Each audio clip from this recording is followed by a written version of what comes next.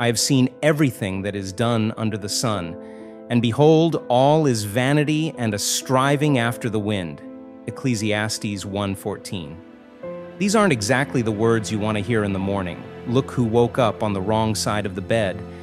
The intention behind them, though, is actually quite comforting. The preacher in Ecclesiastes goes on to prove that he doesn't need counseling, but instead should be our counselor in Ecclesiastes 1:15, 16, and 18, what is twisted cannot be straightened, and what is lacking cannot be counted. I said to myself, Look, I have become great and have increased in wisdom more than anyone who has preceded me over Jerusalem. I have acquired a great deal of wisdom and knowledge. Verse 18 For in much wisdom is much frustration, and whoever increases knowledge increases sorrow. And although we may want to deny this fact, it's a truism that haunts all great people. We may help the hurting people in our world, but we will never be able to end the pain, and knowledge alone will simply not get us there. Words on paper are not the solution. A manifesto, like the Declaration of Independence, may prompt great change, but what is it without action? It is vanity. It's a striving after the wind. Delusion of importance has crushed many great people's efforts. In fact, I would go so far as to say that it's what keeps most people from becoming what God wants them to be.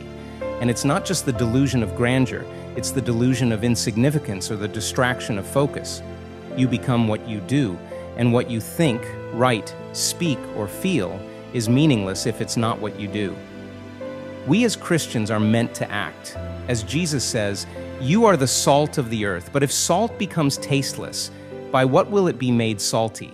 It is good for nothing any longer except to be thrown outside and trampled underfoot by people. Matthew 5:13. If we are salt, let's be salty.